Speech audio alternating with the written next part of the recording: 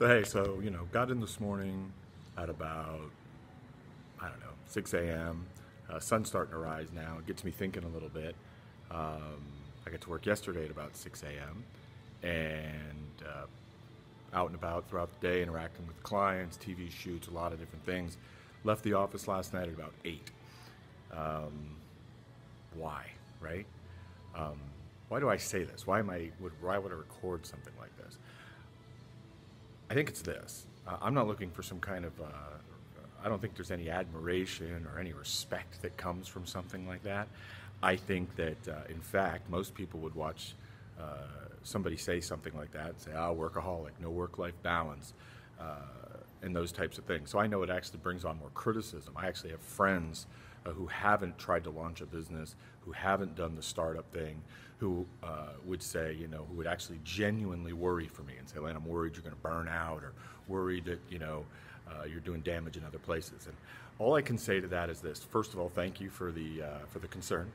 And secondly, there's no other way to do it. Like, I don't know anything about launching a business other than what I've learned, asked, you know, listened, studied, and everything I've listened, learned, studied has told me that, you know, you have got to be all in. I gave up a lot to start this company. My family gave up a lot to start this company. Uh, I have a son who, who, who works with me. In fact, you know, one full time and I have one part time that works with me. People that like came to work and took a chance on a startup with a guy who had never done a startup. I owe it to them to work crazy hours. I owe it to them for those 15, 16 hour days. And then I go home, and of course, anybody who's ever done this knows you don't shut it off when you get home either. But maybe, uh, even more importantly,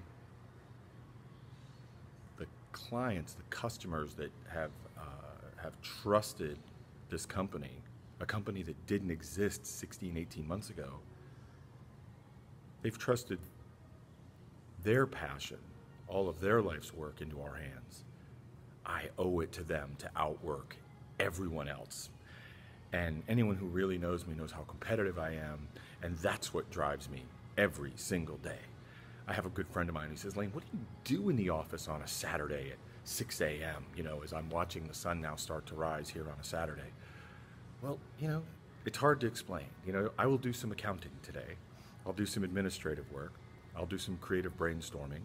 Um, uh, I will run some reports. I will take some online courses. Uh, I will do some creative writing on behalf of our clients. I will do some creative ad design on behalf of this company.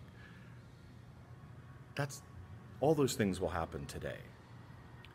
I have to grind that hard if I stand a chance. Having been in media and marketing my whole life, I have worked with so many business owners. So many guys who went through this, so many women who went through this, and when you ask them, they all say the same thing. Hey, congratulations. Now that you own your own business, you'll get to pick the 20 hours a day you work. Um, they have told me if you if you aren't willing to put in the work your chances of making it are slim. So I'm very proud of where this company is, uh, a little over a year into it. So excited, so proud of the people that I work with and the things that they do creatively, but also the work and the time they put in. And I'm just so excited for our clients because I know every day we get better, we do better for them. And I want everybody that I ever work with to know that uh, you will never work side by side with somebody who will work harder. That is a guarantee I can make, and I uh, challenge anyone to hold me accountable to that.